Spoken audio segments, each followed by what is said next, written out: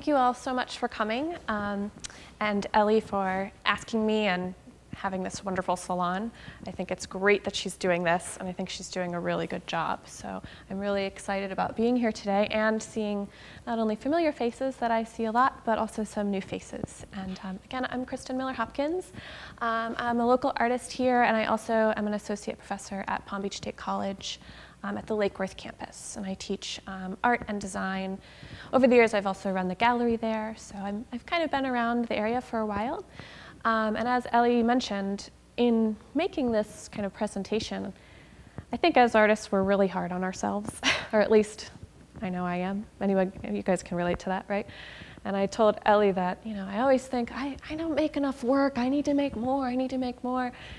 And in making this presentation, I thought, oh my gosh, I have to edit, I have to take things out, I have so much work to talk about. So hopefully I won't talk about too much work.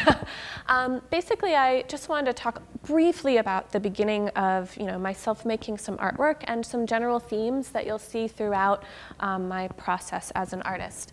Um, I went to Florida State University for my bachelor's degree. And I actually started out in the interior design program because I thought I love fabric, I love homes, I love color. This seems like the perfect logical thing. And I was very concerned, I was kind of unusual, I was concerned about getting a job. So I thought, oh, art degree.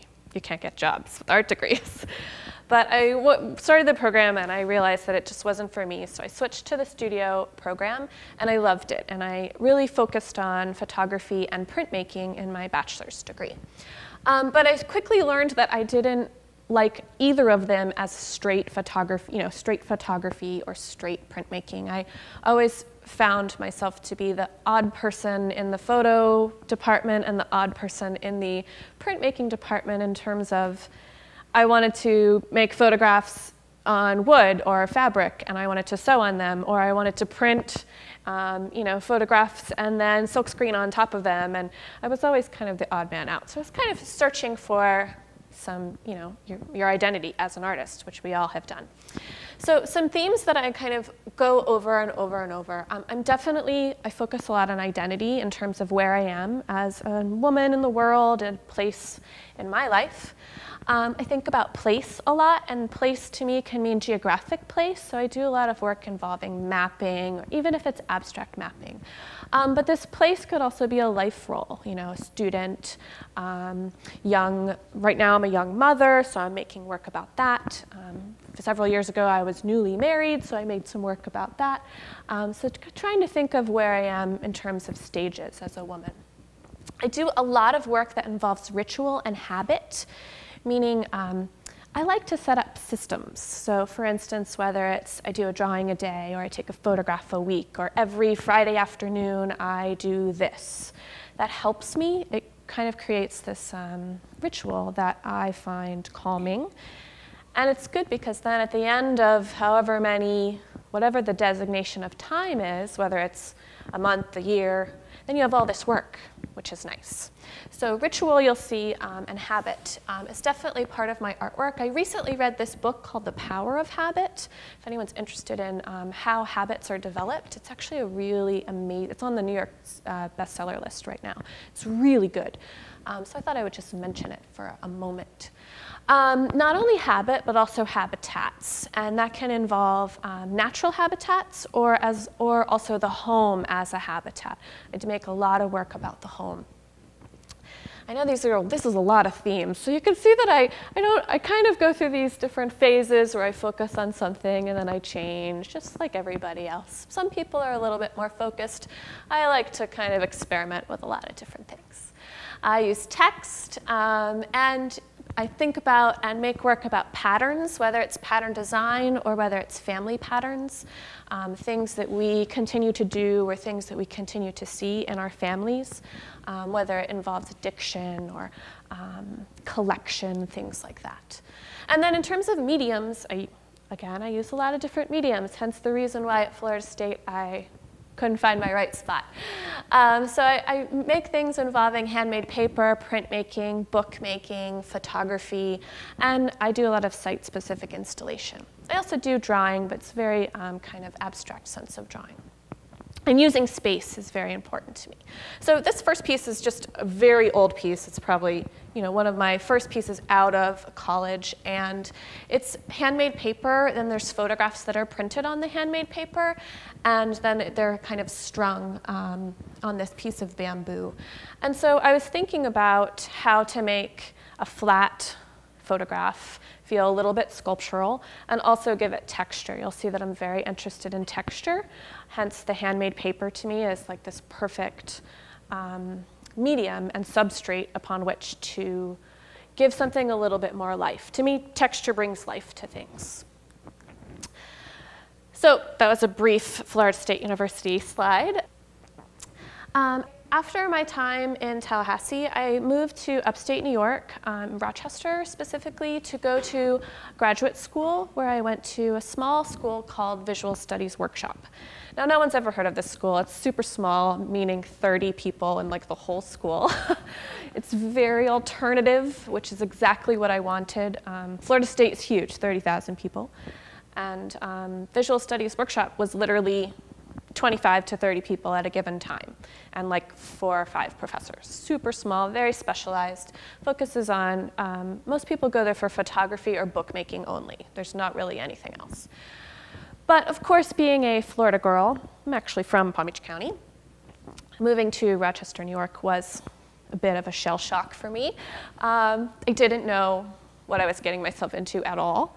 And so I started making work about my move. So I made this piece on the, um, on the left called Migratory Patterns. And it was a one-of-a-kind book. It was probably one of my first books that I made where um, basically it was collages and drawings and photographs. All This is just one spread.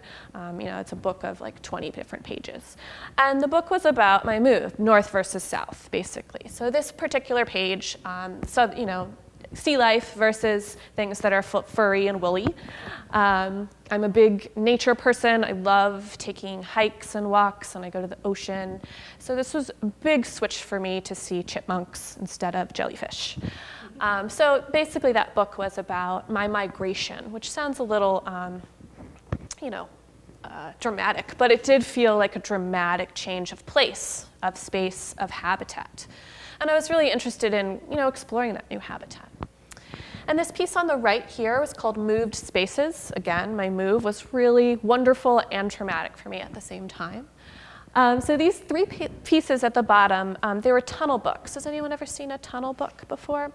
It's where you look in and there's these different um, slats and they're um, each image makes up one total image. So they're three dimensional. And so the, the books were in the shape of a house. And at this point, I'd moved, I'd had a lot of different apartments. So what I did was I basically made this imagined space, imagined space, fictional space, of all of my bedrooms into one bedroom, all of my kitchens into one kitchen. So each of the, so there's, um, I believe this was the, this was the bedroom, this was the kitchen, and this was the living room. And so it was basically thinking about memories and our home as a memory. You know, all of us have certain memories of, you know, standing at the kitchen counter, or looking outside, or being in your bedroom. And if you've moved around a lot, those memories kind of, you know, truncate into one, and you kind of forget, was that in this apartment or this apartment? So I made these tunnel books to kind of, you know, just remember that um, translation of spaces.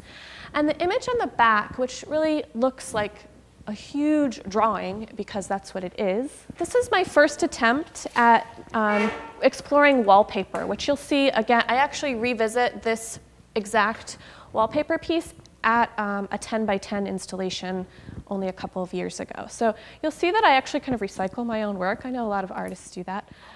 Yeah, how can I make this fresh and new but do the same thing. so this, um, it was basically drawings that were Xeroxed and on one of those large architectural printers, the blueprint printers.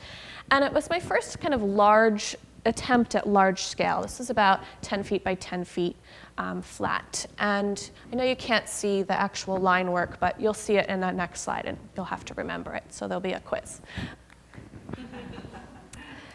So um, again, we're still in, I'm, I'm kind of exploring my graduate work. And I'm, again, I'm at this place where it's basically photography and bookmaking only. So I'm really learning the fine craft of making books, binding, sewing, the, you know, the conservation of them, all of that.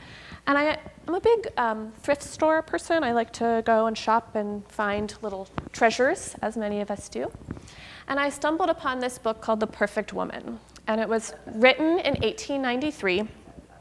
And I was obsessed. I thought this was the best thing I've ever found. Um, it was divided into chapters on how to be this so called perfect woman. Oh my God, you, you gotta be kidding me. You, I am not kidding You didn't find it. It found me, that's right. So I thought, this is fantastic. I have to make something about this because, of course, I was a young woman, you know, trying to kind of explore who I wanted to be. I think we all continue to do that. No one ever stops doing that. Um, and I, what I thought was really curious, it was inspirational as well as very depressing at the same time, was that these kind of rules to be a perfect woman were very similar than they are today. 1893 today, I thought, man, maybe we should have like moved a little forward by now. So I made this book called The Perfect Woman, and I actually brought a copy if anyone wants to look at it. Um, this, again, this is in 2004. I was exploring alternative photographic processes. So if anyone's familiar with cyanotype, which is the blue print, probably have seen that before, and um, Van Dyke Brown, which is actually this kind of brownish color. So um, it's all hand bound, sewn on, and it basically explores the different stages of the perfect woman. And there's five different stages. Um, so this is one spread, and again, there's sewing and drawing, and they go through the different stages. So the different stages were ingenue, mother, lover, caretaker, and preserver. So think about those stages. Do they apply today? Yes. So, you know, basically what I did was I made a cyanotype print of, you know, the book was set very thick, and I, I selected basically five or six pages to reproduce so that we could read, you know, this kind of interesting text. And then I um, embroidered all the different stages on the side. So it's a lot of work, and I also made five of these. They're exactly the same. Um, I, I'm very interested in kind of detail, over detail, probably painstakingly ridiculous detail sometimes. Um, but I was really pleased with this book, not only in terms of the, you know, my continuation of exploring not only feminine craft, but of thinking about what it means to be a woman um, in today's society, but also historically. I think that was really interesting to me. After I did this um, edition of five, I got the opportunity to um, create an installation in an old window uh, display in downtown Rochester, you know, the old um, department stores, things like that. So and again, in terms of changing your work for the space, which is something that I'm very interested in, I thought, well, I, am not finished with this book yet. It's so rich. It's really interesting to me. I was, you know, I was printing things like crazy, but basically, um, I did a window installation where all of the background is the, it's the same work, but just a different form. So this, this is the the brown is the um, Van Dyke Brown print, and it's kind of a drawing of a, a young woman.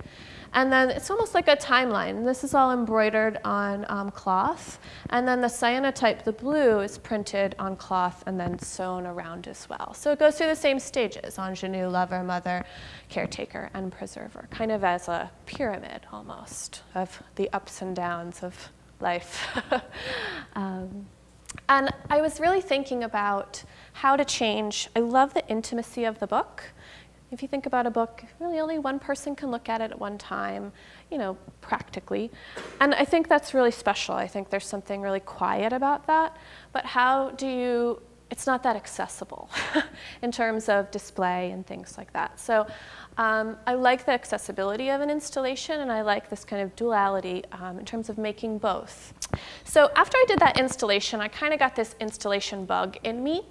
And um, I just have a, this, this is my last project in graduate school. This was actually my thesis project. And it was called Inhabitable. And I worked on this for um, a, a, year. It was a whammy. Um, and the basic idea was that I created a system. I got a space. It was about the size of this room. And I drew and silk screened and made things on the wall every day for four hours. So as you can imagine, the wall kind of came to life. Um, and I'm just going to read this little thing at the bottom here. Home is not only my habitat, but a documentation of my habits. A morphology of markings and sharpings, inhabitable creates a sense of wall life as opposed to wallpaper, which is very static. So the, I wanted the walls to feel like they were moving, like they were breathing, they were, um, you know, a documentation of what I was doing in there. Um, and this was, I don't know why, I love, this is like the first drawing I did of um, this idea. So the idea was to create, again, this duality. And again, I, I see that a lot in my own work, that I'm doing two things at once. So I was not only, it's a play on words, inhabit, right? In terms of everyday or whatever that marking of time is, but also habitat and inhabiting a space. So the habitats that I explored were all um, very influenced by my childhood here in South Florida. Um, I explored the sea, which is below, and then I explored the land, and then I went up to the sky. So when you walked in the room, and I have up here a nice quote from, anyone ever read Gaston Bachelard, Poetics of Space? It's a lovely, lovely book. I would definitely recommend it. Um, and I like this quote every corner in a house, every angle in a room, every inch and secluded place in which we like to hide or withdraw in ourselves is a symbol of solitude for the imagination. That is to say, it is the germ of the room or a house. So he has this whole chapter on corners and how corners are these lovely little parcels of space. And to me, the corner of a room is kind of like the gutter of the book to me. I know that's kind of like a stretch, but um, you know, you can you, you can get into it. You can envelop. It can envelop you into a corner, as opposed to standing in the middle of the room. You feel much more vulnerable, right?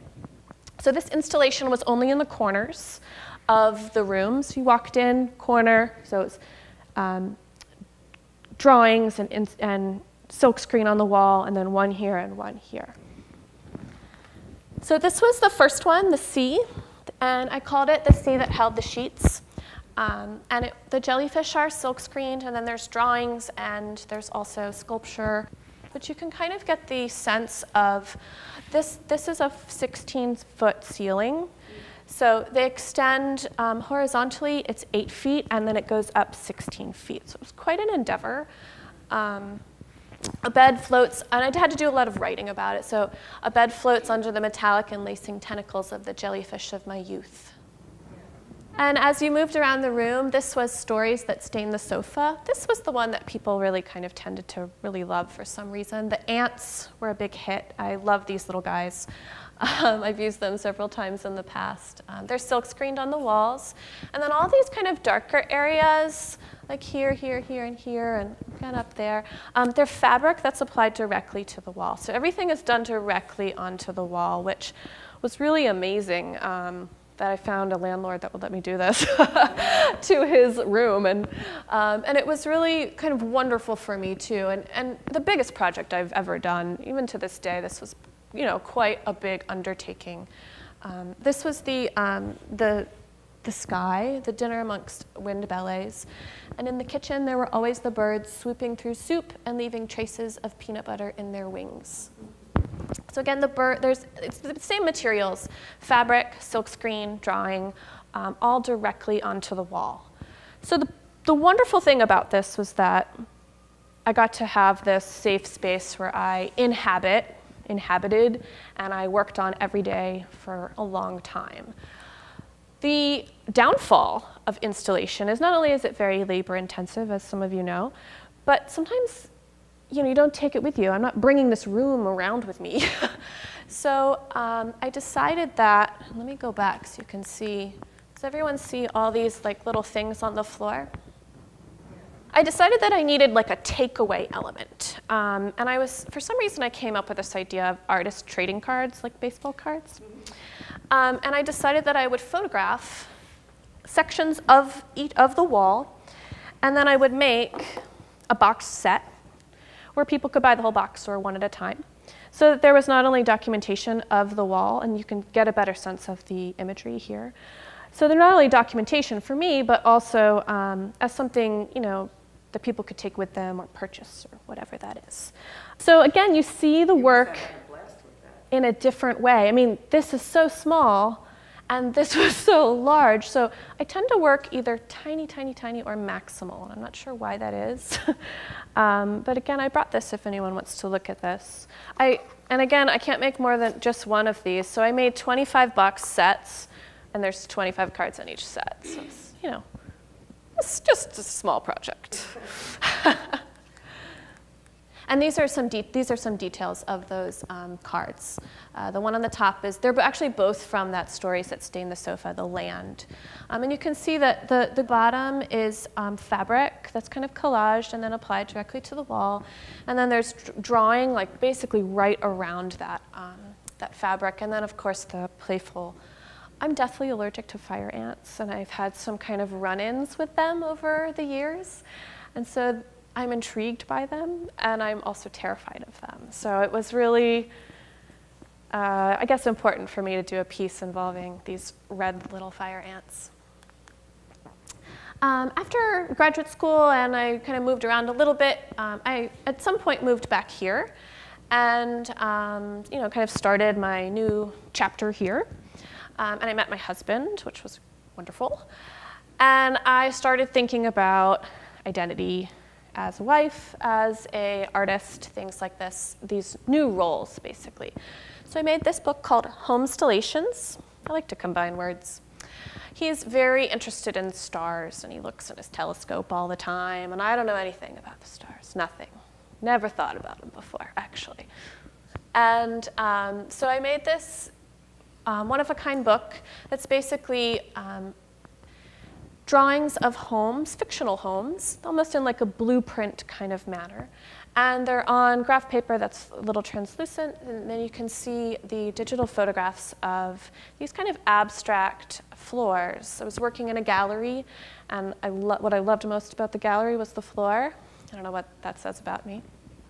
But I photographed the floor. I was there a lot, many hours, so I photographed the floor. And it was really abstract and cracked and textured and lovely. And so I thought that I liked the, the duality of these two things, these kind of mechanical drawings on top and layered on top of the um, textured photographs. And there's a little bit of text in the front of the book. You can kind of see it on that image on the left. And this is just one little snippet, um, an excerpt. The stars guide them. These drawings and photographic patterns represent the beginning blueprints and mappings of a marriage. Separate pages retain their translucency, yet becoming unique and opaque shades of blue.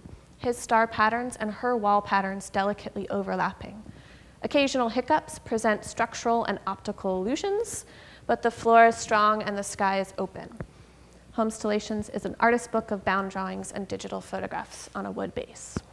I'm very interested in writing. You probably kind of picked that up. So um, I tend to use text a lot in my work in some version. In 2009, I got the opportunity to be involved in Showtell, which I'm sure many of you have been to Showtell. Of course, we miss having Showtell as an art venue. And I did this collaboration. I actually don't do a lot of collaborations. Um, I have one artist friend that I've collaborated with over the years exclusively. Um, but as a whole, I'm kind of a, I'm a lone, a lone artist usually. But I did um, do this collaboration with um, the artist Adrienne Turk. She actually teaches with me at the college. And um, we started talking about our own work and our interested, interests in habitats, creating habitats. We both are very interested in um, kind of the tactile and texture. Um, and we started talking about habits and personal consumption, eating specifically. So this piece was called Munching, Crunching, Bunching, Scrunching.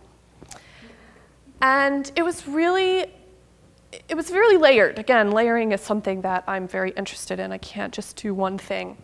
Um, so she had, and, and it's hard to kind of tell where her imagery ends and where mine begins, and that's actually part of collaboration. That's part of the hard part about collaboration.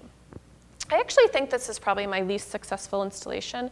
What's interesting about this is that I say this is the messiest thing I've ever done, and she says that it was her most tidy thing that she's ever done.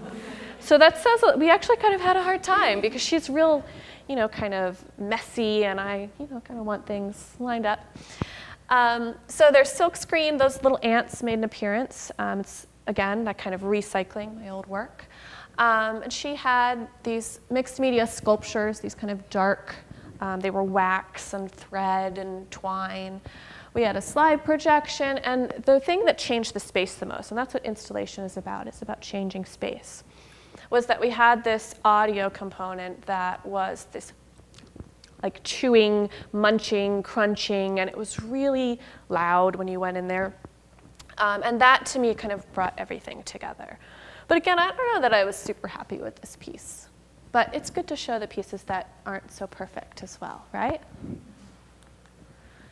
Um, again, we're kind of getting to the um, most recent years, and I got married. I said that before. um, but I wasn't finished dealing with this kind of change of role and identity. And I go between making quick mixed media collages and installations, and there's a reason for that. Installations are extremely labor intensive and they take a lot of time and energy. And sometimes you just want to make something small that's fast. so you can kind of see this kind of um, switching back and forth. Um, so I made, uh, I, I, usually work in series. I made, a, I made 12 of these. And at the time I had this show in Chicago. Anyone ever been to the ARC gallery in Chicago? You have?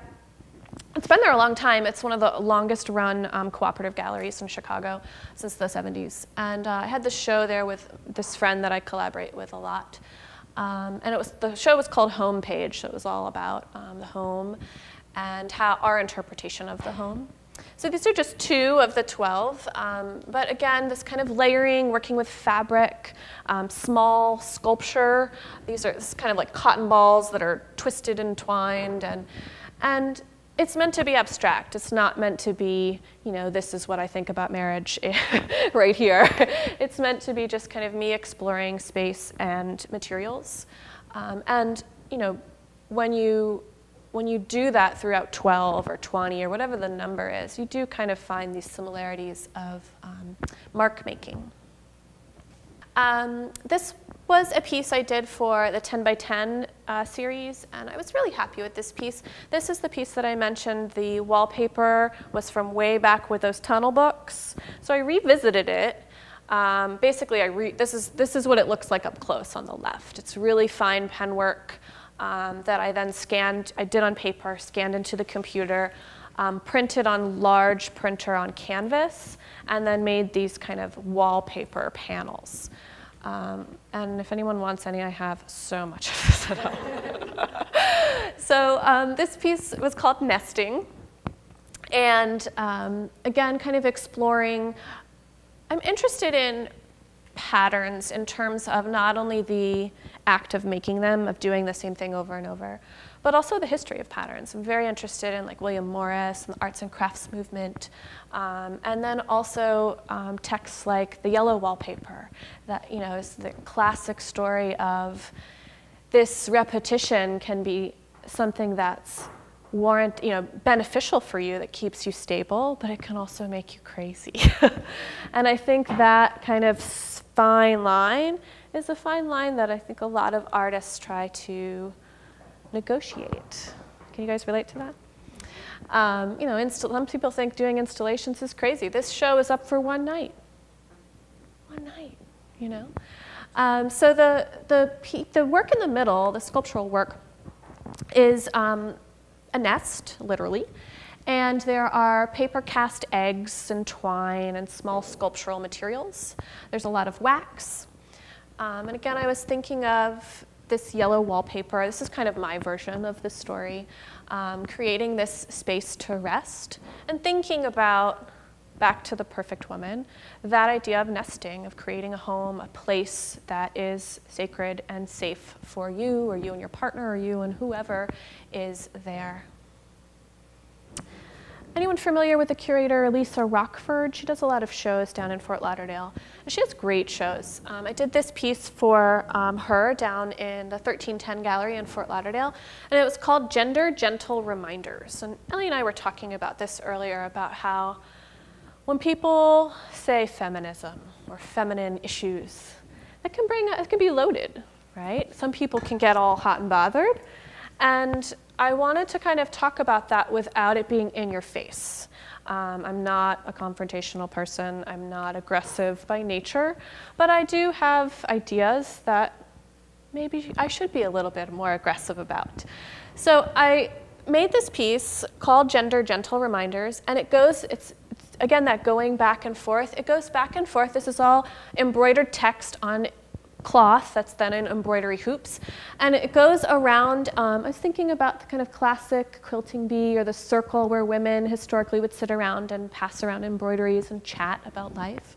So it kind of goes around alternating between gender reminders and gentle reminders. So at, um, at the top, I'm just, it says be calm right here. Oh, and the, the, the ones that are in, these were in blue and then these were in pink again thinking about gender. And the one in the center was basically where this, um, where this piece was inspired by. There was an article in the New York Times, and it says, women today do almost as well as men, dot, dot, dot, if they don't have children. So that's where this began. Um, and there's a lot of articles about this. I just read one today. Um, so it began, that was in the middle, and it kind of alters between the, the gentle reminder, be calm, focus, breathe, love every day, and patience. I think those are things that I need to remind myself. A lot of people need to remind themselves of doing these things. So those are the gentle reminders, the things that I hear my mom saying to me in my head relax, be patient. And then the more loaded gender reminders um, we're alternating. So they're either things that have been said to me or things that my friends have said. Can you believe some this person said this. Um, this is a good one. Hey, boss, please don't call me kiddo. Um, I like the summertime because women wear less clothing. Uh, when your husband cleans, do you thank him? Love that one. It's funny that we, I do that. Oh, thank you so much. Who thanks, me. um, do you know how to use power tools? That was a good one, too. Um, you drive a stick shift, you must be an aggressive woman. That's actually been said to me before several times. I don't know how driving a stick shift makes you aggressive. Um, and then there, there, they, you can see there's string, and these are like hand weights, so they're kind of, um, the foundation is they're, they're being dragged down a little bit. So in interest of words, I took on this huge project and I kind of changed gears. And this is just, in the, I've worked on this piece for the last three years on and off. Um, it's called Cutting Words. I know uh, many of you have seen this in various forms.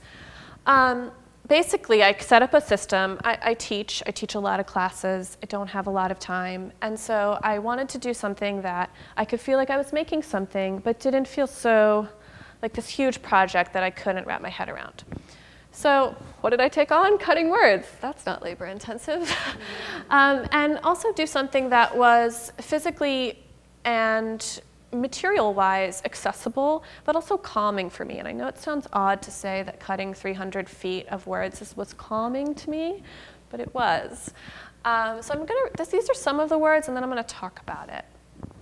Um, again, the, and this is just a shot of in my studio, and I have some um, uh, installation shots. When we bind, I feel woven, those cutting words. Those words slice and mark my body with notches to tear out for later. The score has not been settled. It has diced objects into small tendrils of sound. You rip, I notch, and marry us back together with puckered and pressed tomorrows. Join, interweave, braid, entwine, graft, interlace, knit, marry, tie, weave, wed, unite, plate, divide, striate, chip.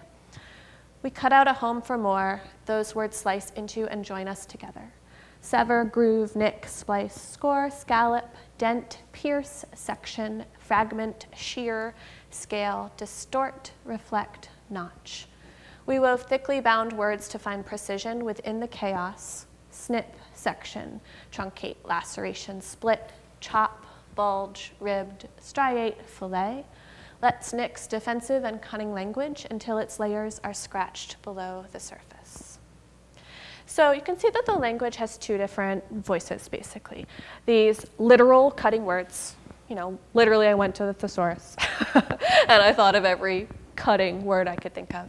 And then there's this other voice that's kind of between two people, and it's really about communication. It's really what it's about.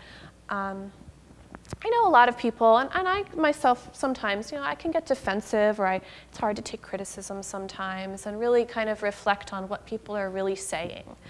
So it, this is what this piece was trying to kind of decipher for me um, and to get to get away from the cutting words and let's let's talk you know really um, productively instead of using these words that slice or hurt this was the first installation of it, and 10 by 10. Um, the 10 by 10, uh, 2010, after the, I did nesting first and then this one. And basically, these cutting words were these sections of paper, and then I made this huge ball lit from the inside, and there was imagery of um, scissors at the top. And it was kind of this ball of words that was like exploding out. Um, and sometimes language can be that way, you know, or a conversation can be explosive. But then it was also delicately layered, and the words, you couldn't read all of them. They were obscured, which, you know, if um, I think sometimes happens in a conversation as well. You kind of highlight, your, your mind gra- grabs onto one thing and forgets the rest, right? And because this ball was sculptural, again, you didn't see all of the words. So this was the first um, inclination of this. This was the second installation of um, this cutting word piece. Um, I work a lot with, um, any, everyone familiar with Whitespace Collection? If you aren't, it's a fantastic space. Um, I actually have worked there over the years and I've done a lot of graphic work for her. Um, and we started talking about this piece, and she asked me if I would do a, um, an intervention in her space, which is basically like an installation but specific for her space. So I was really excited, and I said, Sure, I have all these words. What else am I doing with them? Um, so, but I wanted to do something different than the ball. I was done with the ball of words. This was a different space. It's 3,000 square feet, her collection. And my cutting words basically were installed at the top of the, um, of, you know, almost in the ceiling. And they were dangling and they became kind of lacy, which I really liked because they didn't feel super lacy in the 10 by 10 version. So I was actually a lot happier with this um, this installation. And you can see there right here, I'm sorry, th these arrows, it's like the only way to show which one is my work, not this big guy. um, so they, they kind of like danced and hovered and dangled all over the space. Thank goodness for, um, does anyone know Jacek? He installed these. He literally hung from the rafters for me to do this. Poor guy. So when you walked in, this says cutting words. And the problem Again, installation is tricky to photograph and document. That's, there's no way around that. The other problem is that I'm doing white on white. So, that, you know, there's no way around that either. So here they are here, and they're over here. They're up here around the pipe. They're dangling. And what I really liked about this was the way the light caught the different words and how watching people like go around reading. It's always funny to watch people look at artwork, I think. So I was pretty happy with this actually. This piece called Anti-Slides was a little different from probably a lot of my other work, um, except for that it's still layering, it's still investigating habitats, and it's still working with mark making. Um, I found someone had given me actually a huge box of old slides. And I really love slides. I love the way they look. I love the backlit. I love the smell and the sound of the slide projector. There's something nostalgic about it for me. Um, and I was trying to think of how could I make these images and I didn't know what they, some of them I didn't know what they were. I think some of them were people's travel photos, some were art history paintings. There was a ton of them. Um, so I decided, you know, and a slide is what, this big, right, two by two. I decided I would paint on them, scratch them, uh, sew on them, punch them out, so that I was building this new story, this new habitat. Um, and these are just two. There were 60 of these. And they became like these miniature little paintings. And I really was into them. Um, and I've exhibited them in several different forms. One in projected slides, again at that same ARC gallery show that I had in 2009. And then in video form, um, because the slide projector can be kind of clunky and bulbs go out and you can't buy them anymore. so um, I decided I should scan them and make them into a short video, which I had in the Outside the Box show uh, just a couple of years ago. Um, and again, these are just two um, out of the 60, but I was, I was kind of into them, but they were, in terms of imagery, a little darker. My palette is usually kind of the natural tones, um, pastels even, and these were a little darker, which a lot of people were surprised about. But I was excited to do something different. Sometimes you need to get out of your own comfort zone. So after I did the slides, I, um, I was thinking again about that kind of technology of, is this, it, our slide is obsolete. and I got the iPhone, this is 2012, like everybody else in the world. And you know, it's kind of, this, is, this piece is called eye invasion because sometimes it feels that way, um, that you know, Apple is invading our lives. Um, and these are a series of four. So these photographs are all taken on the iPhone, which I think is awesome and easy and quick, which is why we love technology. But of course, I can't just do that. That's not enough for me. Wonderful for other people, not for me. So I made, um, again, these are just two out of the four. I made these kind of um, weird habitats kind of growing out of these um, slick photographs. So this is again that cyanotype, that blue uh, alternative process print. And then there's drawing and painting. Uh, there's even like a real wing here from a butterfly. This is linotype, and there's some found collage. This is a little sculptural with um, fabric, and there's even a little bit of my wallpaper in there as well. And these were at that 1310 gallery and then Art Palm Beach last year. So we're getting to my current work and just the last year. Um, this was my show called Family Trees, which I know Ellie saw, I think. Um, and Jackie was there as well, as well as Elise and Christina. Um, this was at the it's a solo show at the Palm Beach Cultural Council. They have a lovely little space. I know you had a show there as well. And I showed a series of nine 18 by 24 mixed media pieces. Um, all basically stemming from um, I had a baby in August, and um, he's wonderful. And I started thinking about, I made all of these kind of in preparation for him. Um, he was born in August, and I made all of these basically between about, I'd say April and July. And towards the end of the summer, you know, I'm uncomfortable, it's hot. and I um, wasn't teaching this summer. I took summer B off to prepare. And I was doing a lot of walking and thinking about how my life is going to change, all of those things. And you don't really know how it's going to change, but you're anxious and thinking about it. Um, and one thing that I did with this series that is kind of new for me is that I used watercolor, which I've never used watercolor in my life. Um, and something interesting about the watercolor that happened was so all I wanted to do was be submerged in water. And I don't know what that means. I don't know what the symbolism of that is, but I went to the beach every day. I was, you know, in the bathtub every day. I was just, maybe I was hot. I don't know what it was. But I just wanted to be submerged. Maybe my son will be an Olympic swimmer. I don't know. So I, I thought, well, what can I do with this? What does this mean? I don't know what it means. But I decided I'm going to break out these watercolors that I've had and never used. And so I didn't want to use them in the traditional watercolor way. I just wanted these washes of color, which is exactly what I did here with the pink and then the, um, the kind of yellowy. So these are called family trees, um, again, because I was thinking about genealogy, traits that we pass down. Um, and they're very layered. Um, there's some, in terms of mediums, this is handmade paper, all of this. Um, this is ink on vellum and then sewn onto the paper. These are different pieces of fabric and then watercolor, and this is a little cyanotype as well. So you can see similar themes in terms of materials. I use the same materials over and over. Um, and again, this is, um, these are all 18 by 24. And I needed to do something that was also, I didn't want to do an installation. I was wanted to work on these kind of quickly. And I was walking around on the beach, walking around on, you know, hiking and kind of looking at different plants and different root systems. And I was thinking that the family is like a root system. And my grandparents actually have this huge family tree in their hallway. You know, the traditional hallway with all the photographs of the family, right? There's like these old, you know, like 1800 photographs of great grandfather, whoever. And there's this huge family tree. And as I, when I was younger, I was always obsessed with it, looking at all the names, and it was very detailed and drawn out perfectly. And for some reason, I was thinking about that family tree and how my family tree was going to be expanding, and you know, thinking about names too, things like that.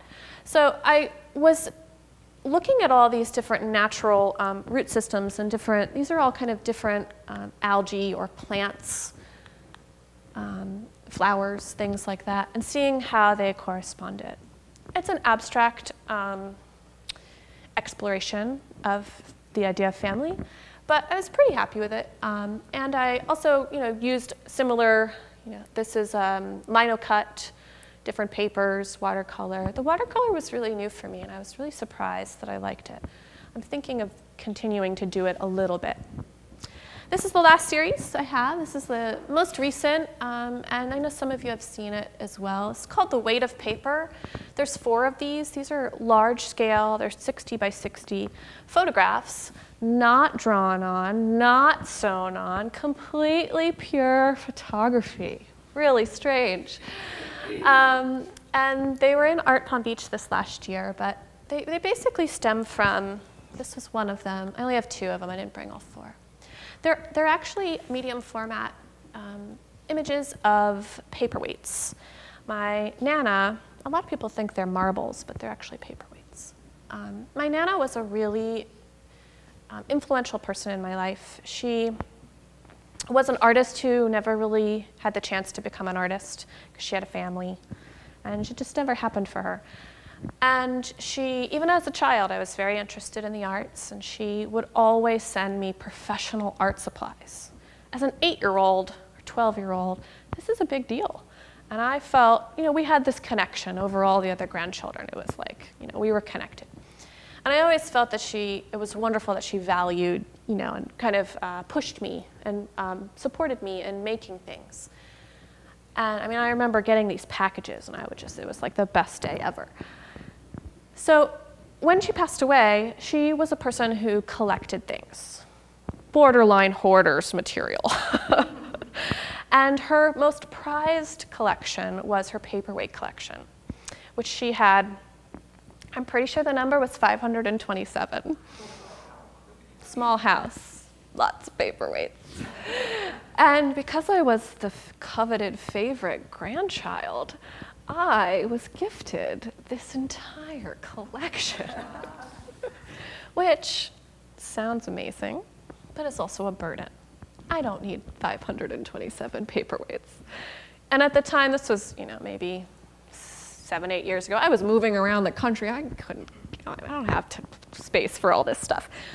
Um, so my way of kind of dealing with this was to photograph them and to kind of think about collection and what does collection mean and, and thinking about, you know, these are patterns. It's nothing really that different from my other work. Um, but I, I, liked the idea of making something very small. And I, I like paperweights because they're small worlds, right? They're these encapsulated magical places. Very small, like a snippet. So I liked the idea, the reason why I made a straight photograph of these and that the reason why they're so large is that I love the idea of making something so small have so much weight, which I think that we can all relate to that in terms of a metaphor of whether it's my cutting words piece or someone says something to you and it's meant to be offhand, but you it affects your whole day, right? Or whether it's a collection that's been gifted to you out of love and then becomes this big burden on you. And I had to, you know, box these things up and move them around the country several times. They've since been kind of dispersed around the family. Um, I've taken my favorite, uh, I think I have 20, so it significantly decreased. Um, so th- this is my last series, um, The Weight of Paper, you know, thinking about how much things weigh, whether it's emotionally or physically. And kind of, um, I loved the light in these, capturing um, these like small little worlds and, and thinking about that pattern and that pattern in people. And at the moment, I'm working on some new text stuff. I'm, I might be revisiting my cutting words, even though I said I wasn't going to. Said those were done, I'm not sure. Um, but other than that, that's all I have for today. Um, if you have any questions, I'd love to, I'd love to talk about them. So thanks Thank for. Thank you.